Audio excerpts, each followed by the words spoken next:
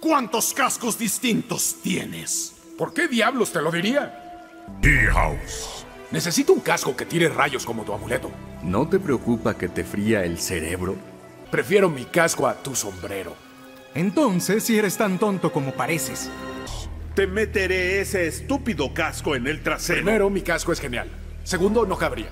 Sundo. Con ese casco te ves como la punta plateada de... ¿Superhéroe? Gracias. ¡Te aplastaré a ti y a tu casco! Imposible, idiota. ¿Inundaste una ciudad? Eso es cosa de supervillanos. No permitiré que un idiota con un casco me ponga nombres.